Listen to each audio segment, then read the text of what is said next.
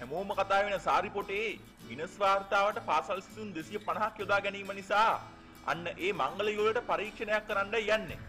අන්න ඒ ගැනයි අද අපි කියන්නේ. අපේ channel එක subscribe කරන්න අමතක කරන්නත් එපා. මංගල උත්සවයකදී දිගම ඔසුරිපට සහිත සාරිය ඇඳ ගිනස් වාර්තාවක් ලැබීම සඳහා පාසල් සිසුන් 250ක් යොදා ගැනීම සම්බන්ධයෙන් පරීක්ෂණයක් පවත්වන බවට ළමා ආරක්ෂණ අධිකාරිය පවසනවා. මෙහෙම වෙලා තියෙන්නේ මෙම සාරිපොටේ ක්‍රියාවට ගුරු සංගම් චෝදනා පළ කරලා තිබුණ හින්දා. කොහොම හරි ලොරියක පටවගෙන ආපු මේ උසරිපට හින්දා පාසල් සිසුන්ව මහ ගිනි අව්වේ එක බෙල්ට සිටෝලා පාසල් සිසුන් ටිකක් නෙමේ 250ක් අන්නේ ළමයිව ගිනි අව්වේ පිටෝලා තමයි මේ සාරිපට දිගරලා තිබ්බේ. කොහොම හරි මෙන්න මේ තූර අකර දැබ්බෙට මුණ දීලා තිබ්බේ නම් අලවතුගොඩ කනිෂ්‍ය විද්‍යාලයක ප්‍රාථමික අංශ සිසුන් පිරිසක්.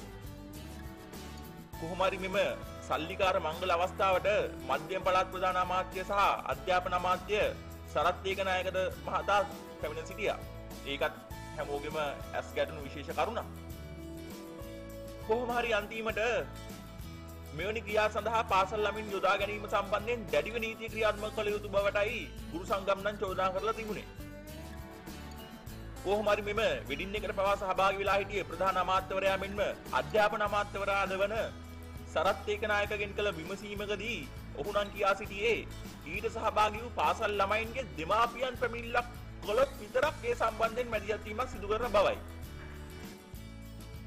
ඒ කියන්නේ ඉතින් ගුරු සංගම් වලට වෙලා තියෙන්නේ හොරාගේ අම්මගෙන් පේනහනා වගේ වැඩක් කරන්න. කොහොම හරි අපිත් පෞද්ගලිකව මේ වැඩේට නම් කැමති නෑ.